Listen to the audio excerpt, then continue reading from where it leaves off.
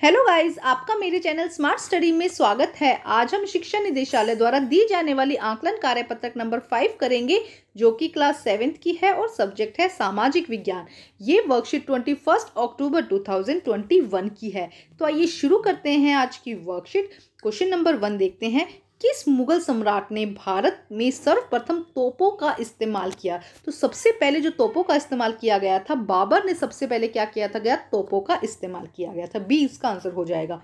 Question number second, उत्तराधिकारी के लिए मुगलों ने किस परंपरा का प्रयोग किया? उत्तराधिकारी के लिए कि राज्य जो है वो किसे दिया जाए? इसके लिए जो मुगलों ने थे, उन्होंने किस परंपरा का प्रयोग किया? सहदा याद का। तो आंसर बी, इसका करेक्ट हो जाएगा।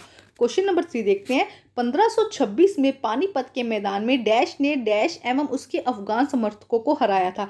तो 1526 में पानीपत के मैदान में बाबर ने इब्राहिम लोदी एवं उसके अफगान समर्थकों को हराया था। तो सी पार्ट इसका आंसर हो जाएगा। Question number four. 1527 में बाबर ने राणा सांगा, राजपूत राजाओं और उनके समर्थकों को डैश में हराया था। तो कहाँ हराया था? खानवा में। तो इसका आंसर हो जाएगा। सी खानवा इसका आंसर हो जाएगा। अब देखते हैं नेक्स्ट क्वेश्चन देखो नेक्स्ट क्वेश्चन में क्या कहा गया है?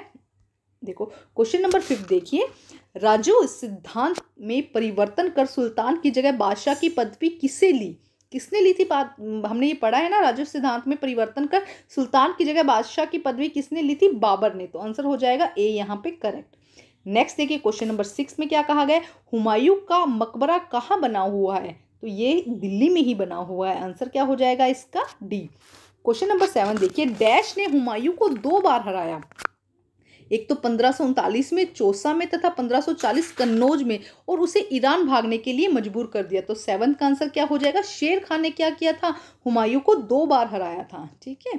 अब देखते हैं क्वेश्चन नंबर एट क्या कहा गया? तुझके बाबरी डैश द्वारा डैश भाषा में लिखी गई तो तुझके बाबरी किसने लिखी है? बाबर ने लिखी है और तुर्की लैंग्वेज में। तो बी यहाँ पे इसका आंसर हो जाएगा कि तुझ तुझके बाबरी बाबर द्वारा तुर्की भाषा में लिखी गई है। अब देखते हैं क्वेश्चन नंबर नाइन। देखो क्वेश्चन नंबर नाइन में क्या कहा गया है? क्वेश्चन नंबर नाइन में क्या कहा गया ग्रांड ट्रंक रोड डैश द्वारा बनाई गई है। तो Grand Trunk Road Shershah Suri द्वारा बनाई गई है। ठीक है तो आंसर सी यहाँ पे करेक्ट हो जाएगा।